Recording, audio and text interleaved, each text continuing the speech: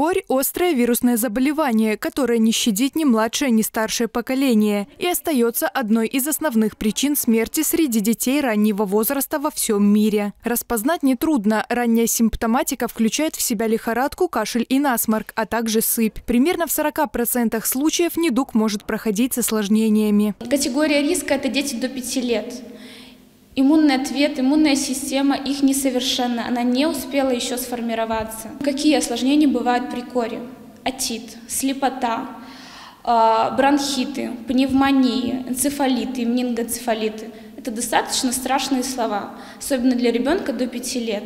Может быть, взрослый и попробует как-то с этим побороться, но ребенку это может быть это может стоить жизни. Первый случай кори в Бобруйске зарегистрирован 22 декабря прошлого года. Сейчас ситуация находится под контролем. В основном зараженные дети и взрослые без укола здоровья или люди только с одной прививкой. Вакцинация – единственный верный вариант обезопасить себя и своих близких. После введения одной дозы у 95% привитых формируется долговременная иммунная защита. После второй эффективность достигает почти 100. Корь вообще очень контагиозная заболевание заболевание, заразное, очень заразное. То есть если человек не привитой встретится с заболевшим корью, то он 100% заболеет. Непривитые люди болеют и непривитые дети. Вот у нас по поликлиниках переболело несколько буквально, четверо там детей, которые были не привиты изначально. Это те дети, родители которых отказывались от прививок. Чтобы получить достоверную информацию о своем состоянии здоровья, необходимо уточнить свой прививочный статус в территориальной организации здравоохранения. В Бобруйске для профилактики доступны детские вакцины индийского и бельгийского производства. Для взрослых представлена российская. Укол здоровья делается бесплатно. Кроме того, также отмечается сезонный подъем заболеваемости ОРИ. Заболеваемость заболеваемость острыми респираторными инфекциями обусловлена